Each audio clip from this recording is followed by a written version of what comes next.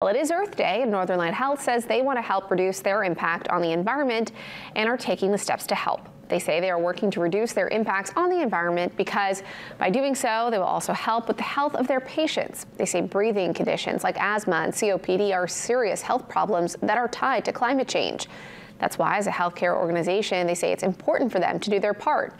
Their employees are also taking part in an eco challenge by making small changes to their everyday life, simple things everyone can do, especially in honor of Earth Day turning the water off while you're brushing your teeth or um, picking up two pieces of litter while you happen to be outside in your neighborhood. You can donate blood, you can plant trees to, to earn these points.